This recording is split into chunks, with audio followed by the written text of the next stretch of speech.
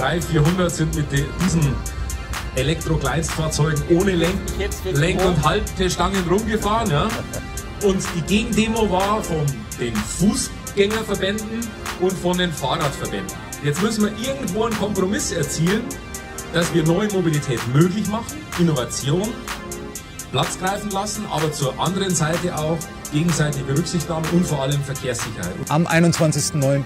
12.30 Uhr in Berlin am Stuttgarter Platz veranstaltet Electric Empire die Demonstration für die Legalisierung aller Elektrokleinstfahrzeuge und vor allen Dingen die ohne Lenkstange. Seid dabei, steht für euer Recht ein, was euch Andreas Scheuer versprochen hat und kommt nach Berlin. Das Ziel ist, eine Ausnahmeverordnung zu machen und das äh, wird auch zügig in Angriff genommen.